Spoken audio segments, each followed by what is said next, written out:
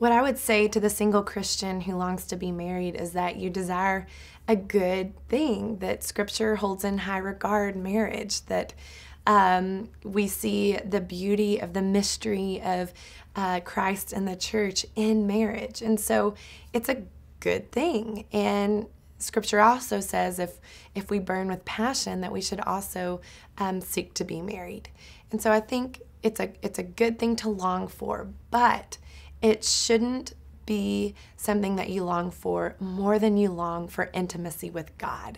If you're longing more for intimacy with another person, a man or a woman, um, this marriage that you feel like this, if I'm married, that will be the fulfillment of all my desires, uh, you will unfortunately be very disappointed once you're married. Um, because all marriage does is it exposes you and in a way that is. Um, disarming and not always fun, but also really good. Um, but it's not going to be the satisfaction, the fulfillment of every desire. Only Christ can be that. And so um, it's a good thing to long for marriage. Just make sure you're not longing for it more than you're longing for intimacy with Him.